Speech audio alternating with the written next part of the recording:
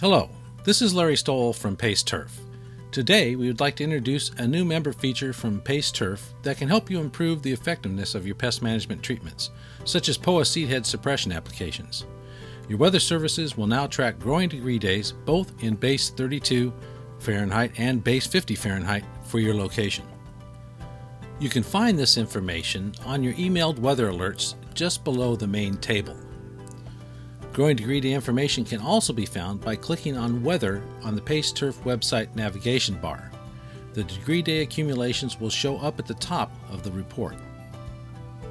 In both cases, the number of degree days accumulated for your location for base temperatures of 32 Fahrenheit or 50 Fahrenheit are reported. Let me take a minute to review the concept of growing degree days and how they are used. Growing degree days are frequently used to predict plant and insect development. This simple method uses the average daily temperature and a base temperature that is characteristic for the plant or insect in question. Each degree of average temperature that exceeds the base temperature adds one degree day. The calculation for each day looks like this. For example, if the average temperature for a day was 52 degrees Fahrenheit, using base 32, the day would have accumulated 52 minus 32 or 20 degree days. Using base 50, 2 degree days would have been accumulated. When average temperatures are less than the base temperature, no degree days are accumulated. There are various references that recommend actions based upon accumulated degree days, but I'm going to provide one example that is dear to the hearts of many superintendents. The most popular use for growing degree days is for timing of Proxy Primo and Embark applications for control of seed head production in Poa annua.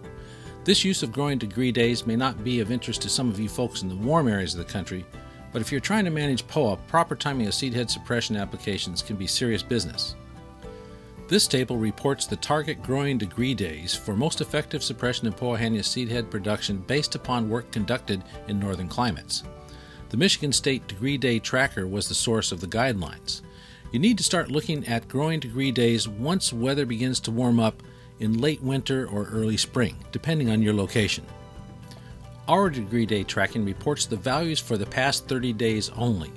This means that in some years, our values may be a little bit higher than systems such as Michigan State's, and you would therefore treat a bit earlier. In most situations, however, the values should be pretty close. Degree day models are not perfect at predicting the timing of seed head production by POA, and depending on the year, can be right on the money or slightly off we have decided to err on the side of treatment that is a little bit early rather than too late. For more information on the science and practical application of degree days, see the information associated with this video.